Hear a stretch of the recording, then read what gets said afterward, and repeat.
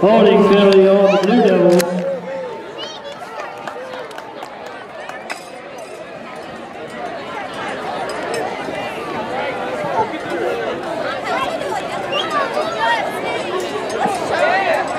The holding penalty is marked off on the spot of the foul.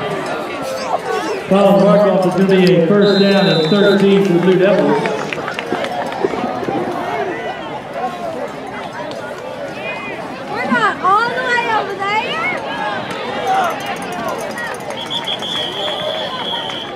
Saturday, number nine, Nick Thompson for the Rebels.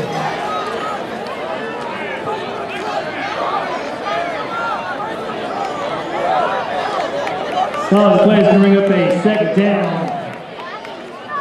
Nine yards for Blue Devil first.